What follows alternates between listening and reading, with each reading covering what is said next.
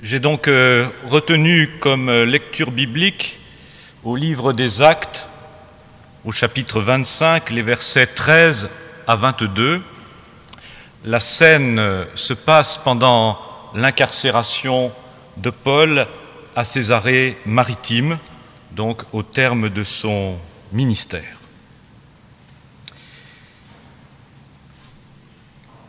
Quelques jours après, le roi Agrippa et Bérénice arrivèrent à Césarée pour saluer Festus. Comme ils passèrent là plusieurs jours, Festus exposa au roi l'affaire de Paul et dit Félix a laissé prisonnier un homme contre lequel, lorsque j'étais à Jérusalem, les principaux sacrificateurs et les anciens des Juifs ont porté plainte en demandant sa condamnation. Je leur ai répondu que ce n'est pas la coutume des Romains de livrer un homme avant que l'inculpé ait été mis en présence de ses accusateurs et qu'il ait eu la faculté de se défendre sur les choses dont on l'accuse. Ils sont donc venus ici et sans différer, je siégeais le lendemain au tribunal et je donnai l'ordre qu'on amène cet homme. Les accusateurs, s'étant présentés, ne lui imputèrent rien de ce que je supposais. Ils avaient avec lui des discussions relatives à leur religion particulière et à un certain Jésus qui est mort et que Paul affirmait être vivant. Ne sachant quel parti prendre dans ce débat, je lui demandais s'il voulait aller à Jérusalem et y être jugé sur ces choses. Mais Paul, en ayant appelé pour que sa cause soit réservée à la connaissance de l'empereur, j'ai ordonné qu'on le garde jusqu'à ce que je l'envoie à César.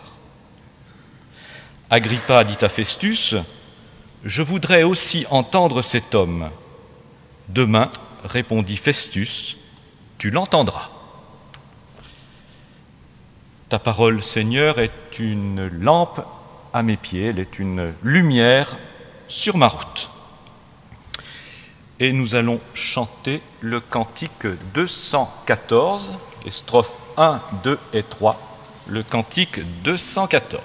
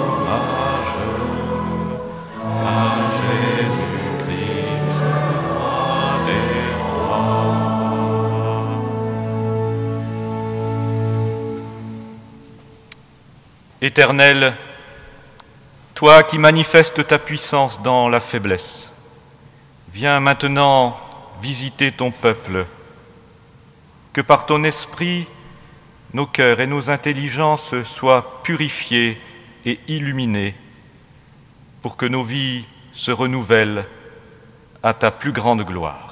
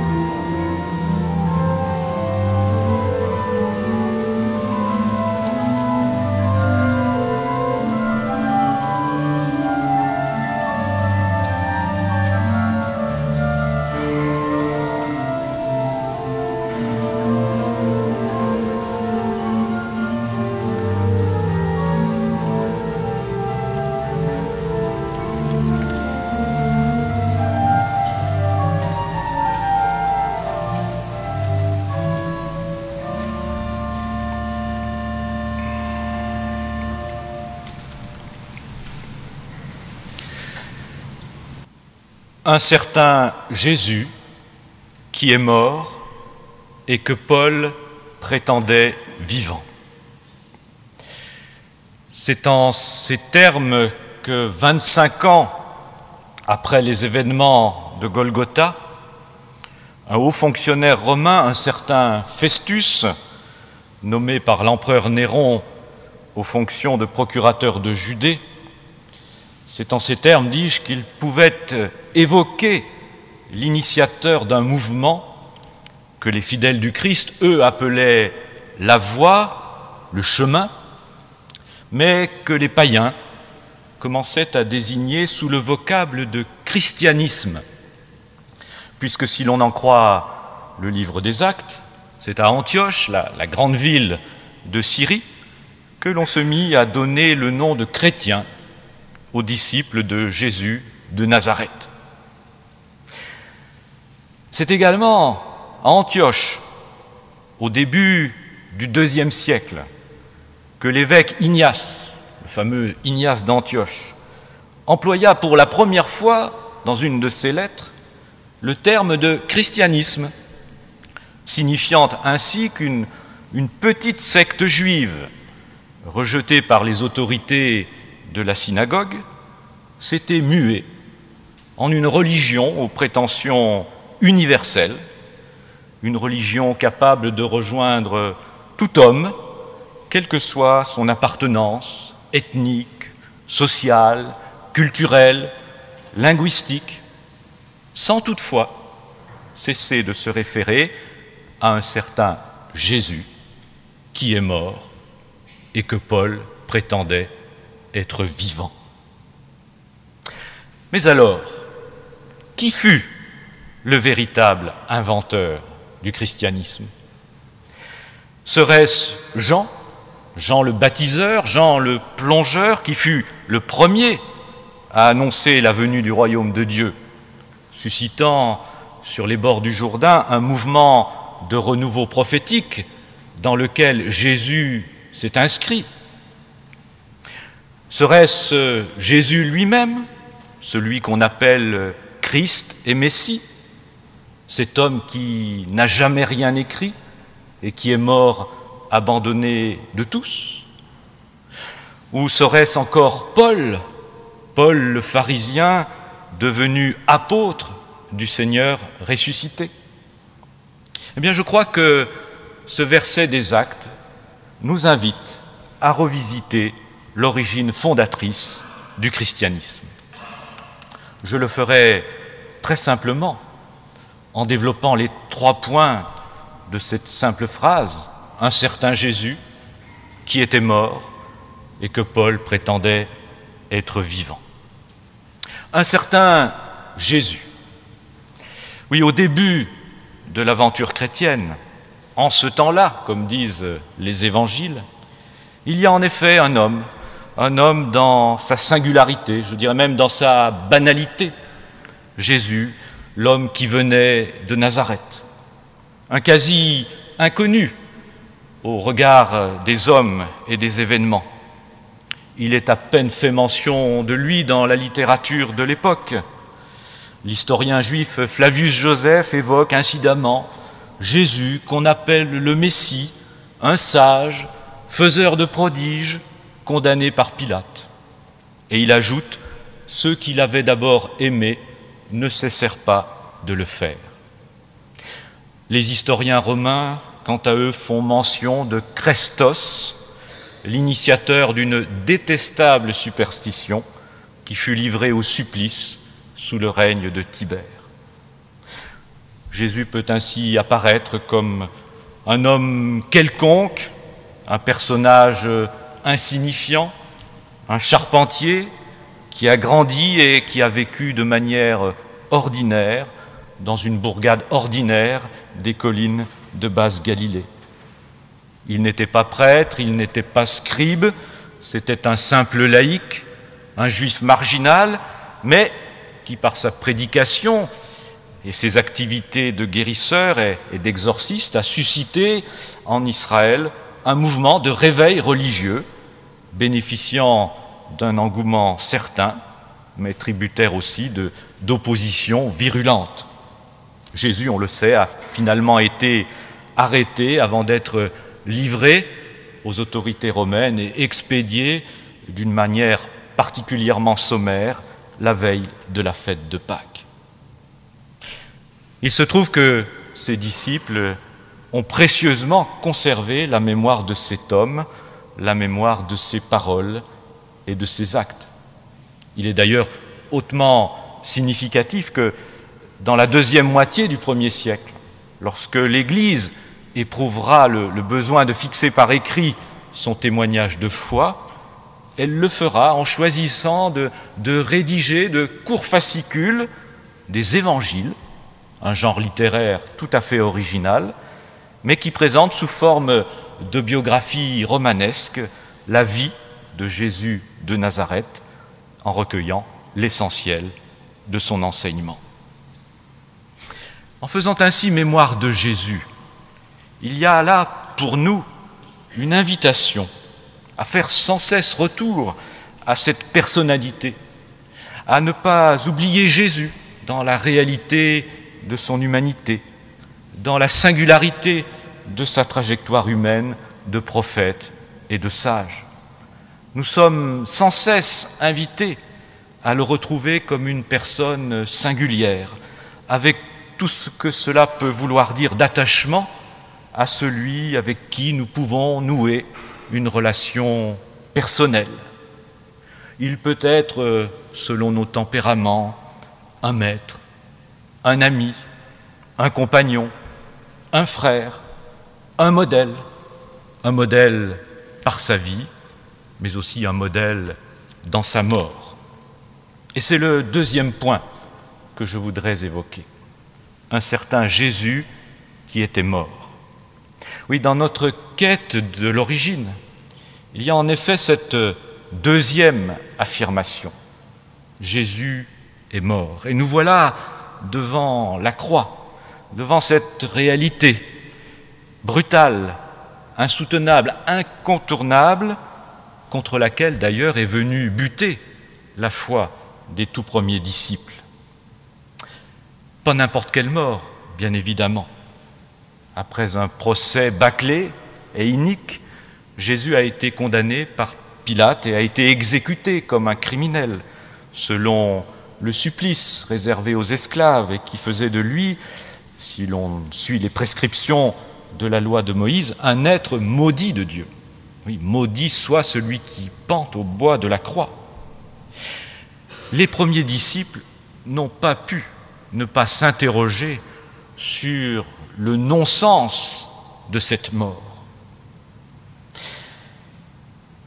Au regard de la foi des chrétiens, cette mort n'est pas simplement la mort du juste que l'on persécute, figure familière de la Bible.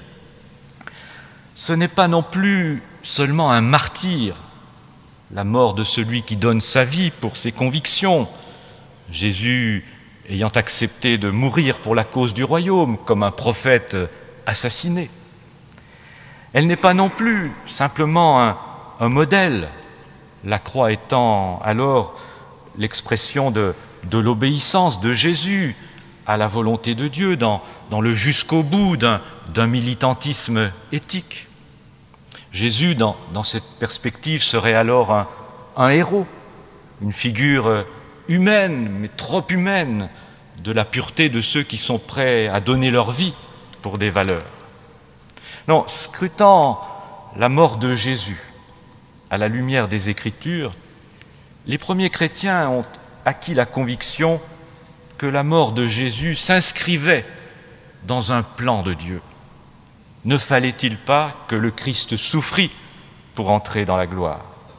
Oui, enracinés dans leur foi au Dieu d'Israël, le Dieu d'Abraham, d'Isaac et de Jacob, qui n'est pas le Dieu des morts, mais le Dieu des vivants, enracinés dans l'espérance juive qui attendait une manifestation de Dieu en faveur de son peuple, les disciples de Jésus ont eu l'intuition que cette mort sur la croix ne pouvait être le dernier mot de l'aventure humaine du Christ.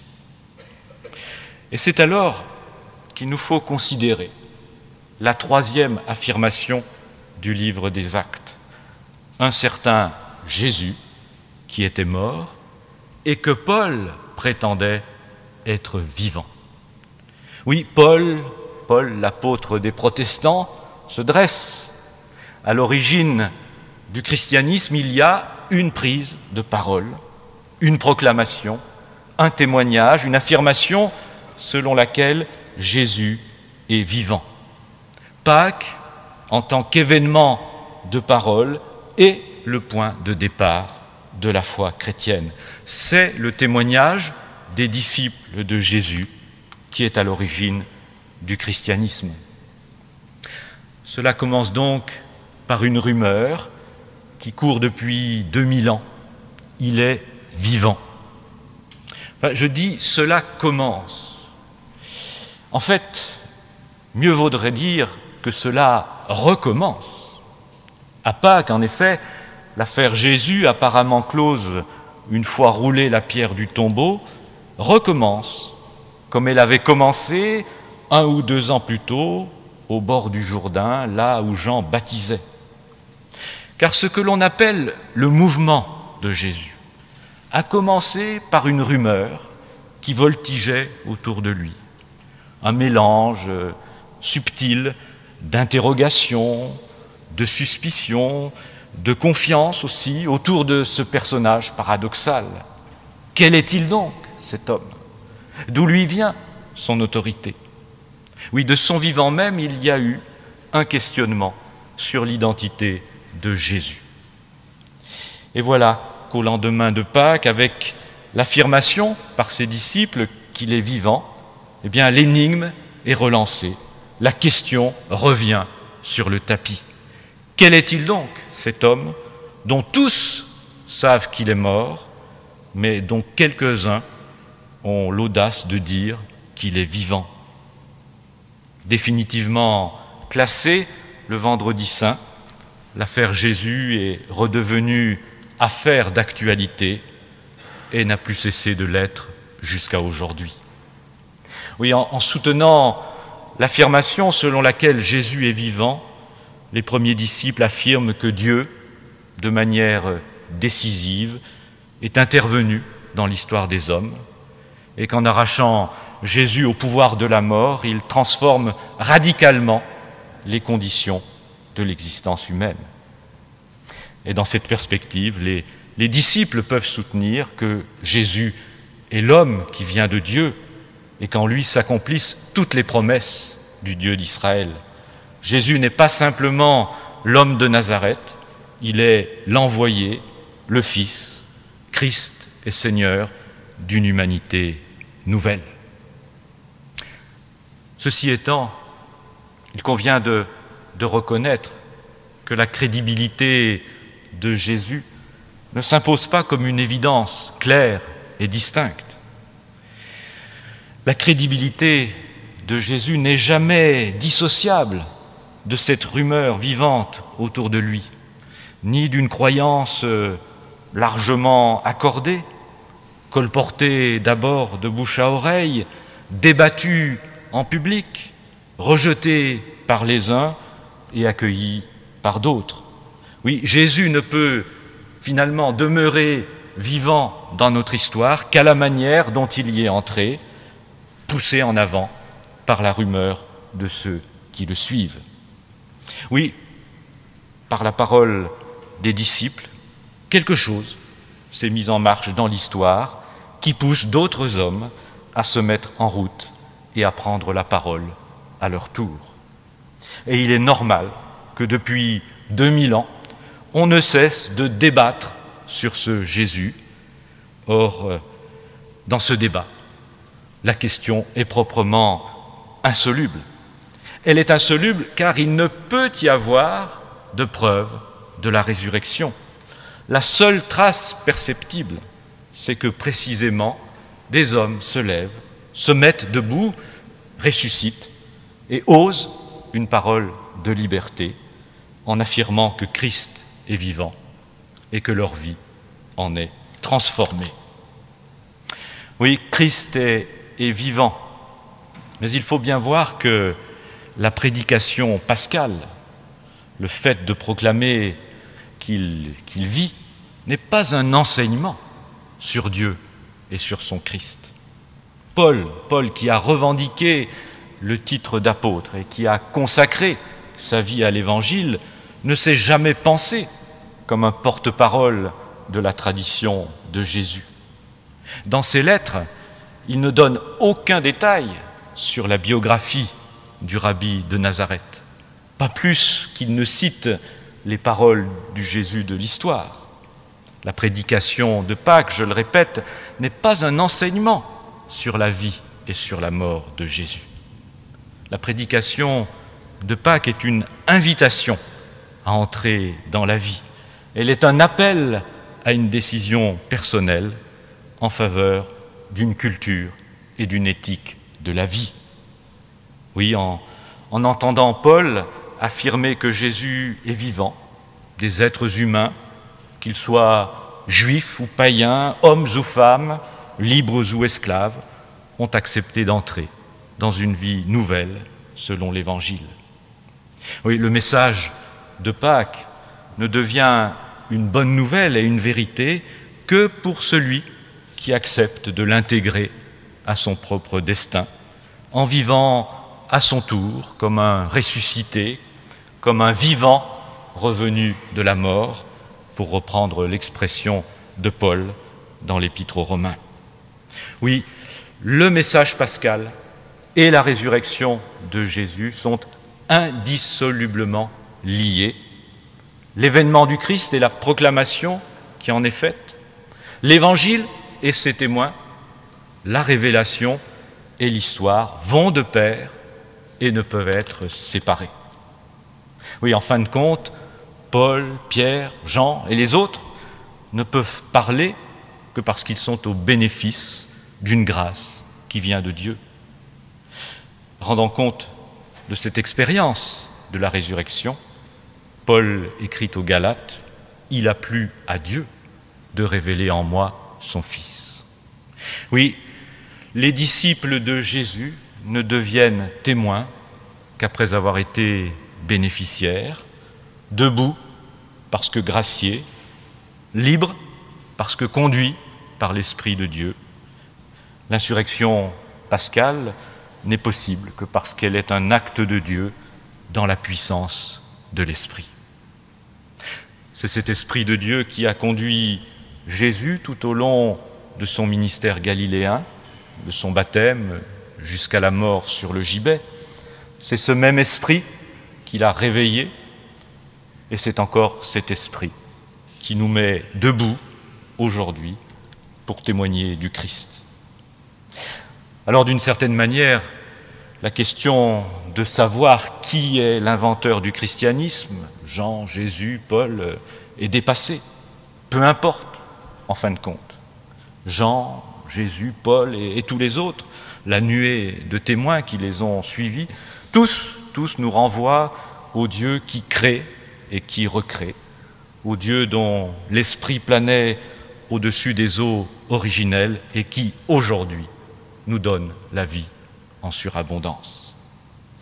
Eh bien que cet esprit de Pentecôte vienne nous visiter, qu'il roule la pierre de nos tombeaux et qu'il nous confie à Jésus, le vivant, aujourd'hui et pour les siècles des siècles. Amen.